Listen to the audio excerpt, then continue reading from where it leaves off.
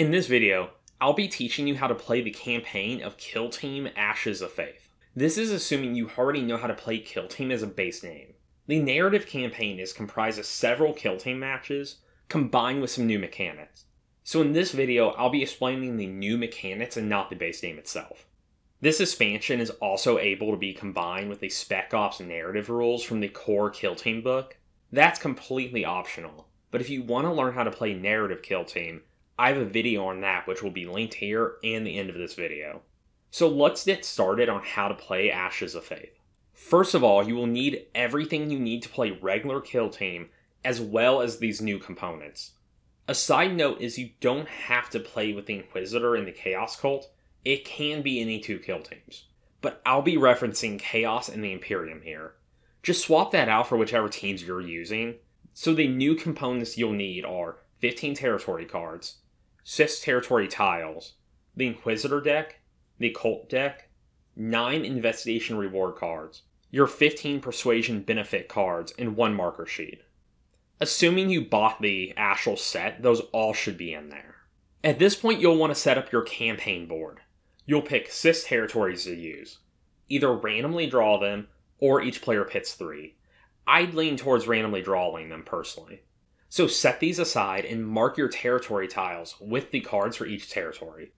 If you're playing this across multiple sessions and want to store these tiles, you can use the corresponding markers to keep track of that. Each battle will take place in one of these territories and they all affect the battle in different ways. And you'll be putting points and trackers on each one. So that's why you want to be able to track each one separately. Now each player gets a control, a persuade, and an investigate card into their hand and place the matching deck by you. At this point, you'll need to pick the missions you'll play throughout the game. You'll need at least five. You can do this by either making a big list and rolling off. You can pick them beforehand, or even as you play, you can pick the missions that kind of match the narrative you're creating. It doesn't really matter which method you use, just make sure you and the person you're playing with agree on the method before you start. I personally will be creating a big list of missions and then randomly rolling for them. In re rolling, if I get one we've already played. But that is just personal preference. So I personally like talking about how you win a game before actually going into the rules. That way, when I'm explaining the mechanics, you actually get why they matter. There are two different ways you're trying to win here. The first is control. The player who controls the most territories at the end of the campaign wins the control condition. Then, after you go through the campaign, you have one big final fight called the ritual mission, and the player who wins that wins that condition. So you can win one and lose the other, or you can win both. So now we're all set up and ready to actually start playing the game, so let's get started. Here's the campaign sequence. Each round you start off the battle stage, which is an actual kill team match. Then stage two is draft, where you get rewarded for how good or bad you did in the previous match. Stage three is scheme, where you play your resources that you gathered.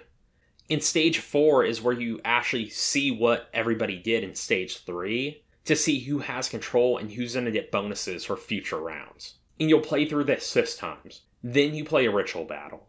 So let's go through those in more detail, starting with stage one, the battle stage. The first round of stage one will always be the same mission, and that is the cult revealed. If you have the book, it's page 29. But before you get started, you'll also want to pick what territory it's happening in. The Inquisitor player or the player who's using the Inquisitor deck will pick the territory for this mission. Then just play a regular match kill team using the territory rule and this mission. After this initial match, give the player who won the match one control point in the territory you played in. For every battle stage beyond round 1, the player who controls the least number of territories will pick the territory you're fighting in, so it's a catch up mechanic. And you cannot select the territory that you previously fought in the round before. You'll have to fight at another location before you return back to that territory. Then, for the five rounds after the initial one, you'll play different missions. Like I stated before, this can be done in a variety of different ways that will be determined before the match. Once you know the territory and the mission, you'll play a match of kill team using these conditions. The only difference from a normal kill team match is that when you reach the select kill team portion of the game, which is kind of the pre-game part of kill team, you may select up to three persuasion benefits from the territories you control, if you have any. For round one, you won't. After the match, the winner will get one control point in that territory.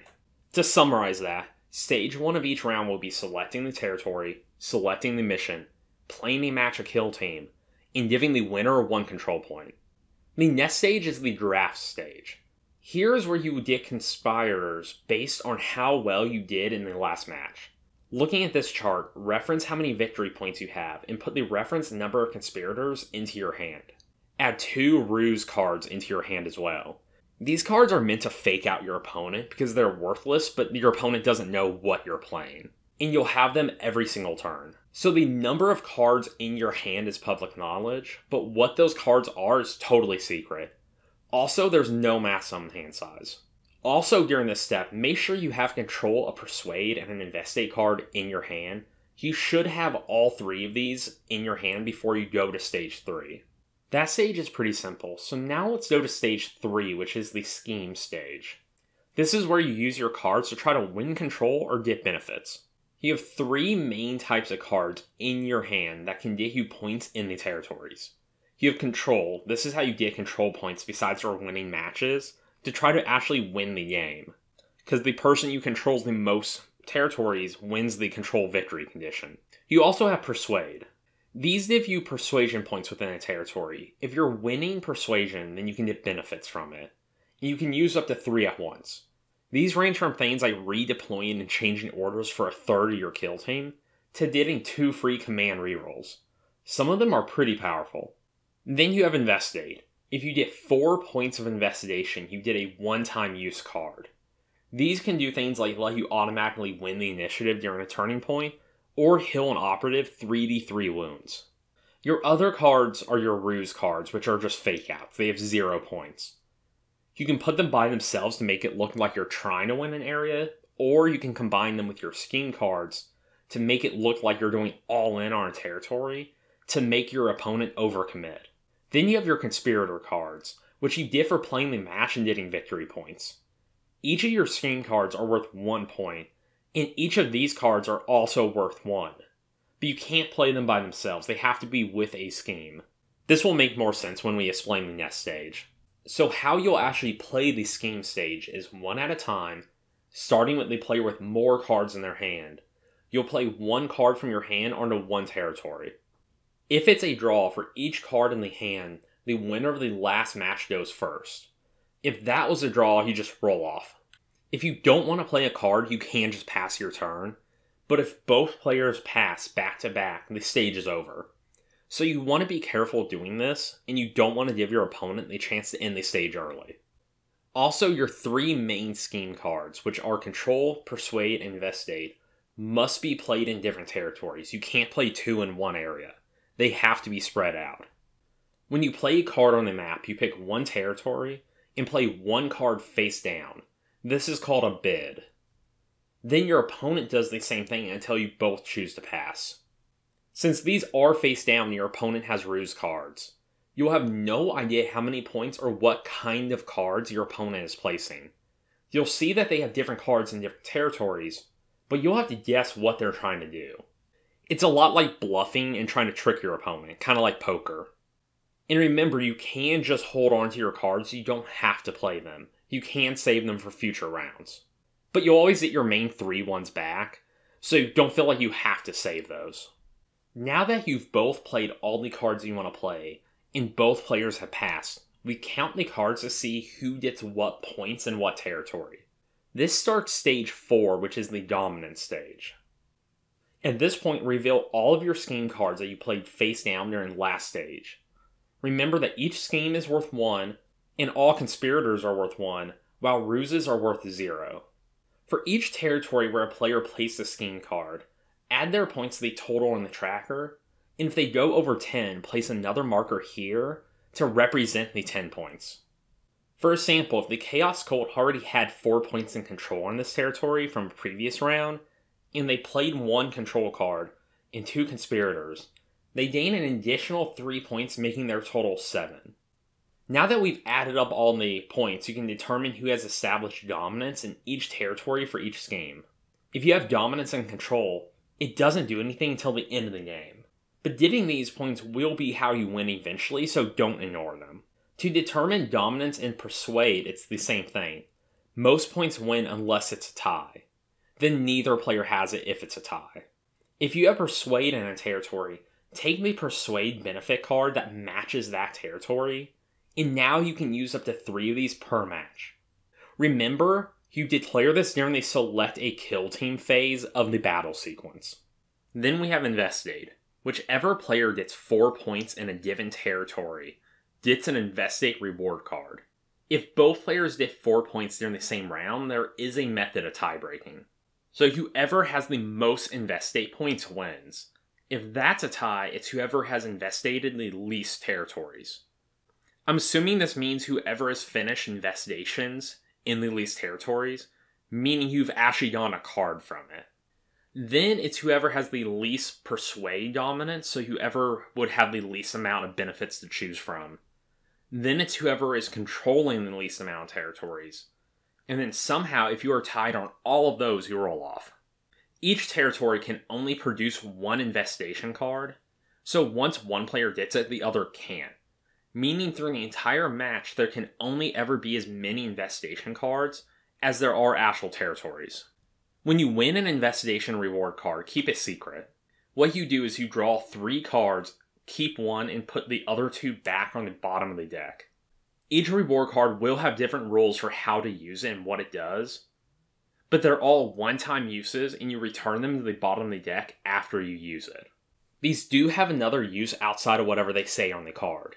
You can play one per dominant stage, and if you do, subtract one point from any scheme category from your opponent. So the Games Workshop rules don't actually specify when this applies, like when it would go onto the stack. Like if you can use it after your opponent reveals their bids but before they trigger, or if it's before you reveal your bids. If you're using my video as a guide, I'd say do it after you reveal bids but before you update the point tracker. This can stop a player from winning an investation, and I think it's the most powerful use of the card. Since these are supposed to be pretty powerful cards that are difficult to get, and you've put a lot of resources into it, I think you want them to be pretty strong. Whatever you do, just agree with your opponent beforehand, that way you know how it's going to actually play out. Another option you have during this phase is to sabotage. If you play an investigation card in a territory that has already been investigated, so, not one of the reward cards, the actual scheme card. You can subtract one from your opponent's control or persuade in that territory. And this will only ever be one per stage. So, even if you add conspirators with your investate card, it doesn't change anything.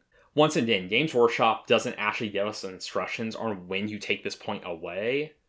On the rules reference, it talks about sabotaging at the end of the phase, so I do it after all other points have been added. So that ends the campaign round.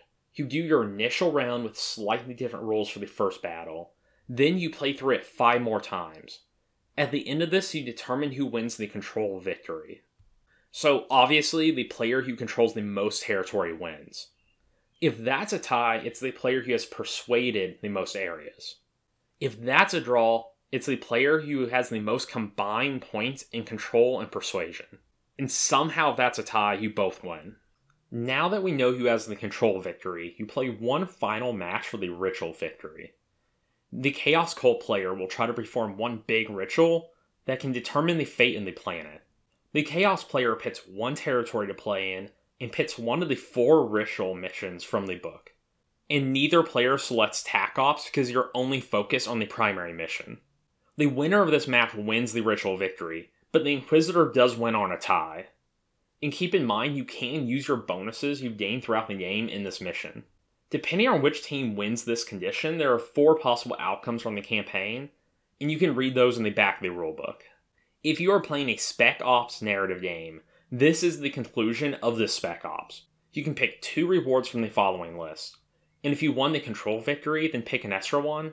And if you won the ritual mission, pick another one here as well. And you can select the same reward multiple times. I'll have them listed on the screen, but I won't be reading them off. I'll put all these slides into a PDF that you can download in the description. In Games Workshop does have a one-page cheat sheet in the back of the rulebook, so I'll make my version of that and attach it as a one-page reference as well, so you can download that and print that out. If you have any questions, I'll try to answer them to the best of my ability down in the comments. Thank you for watching.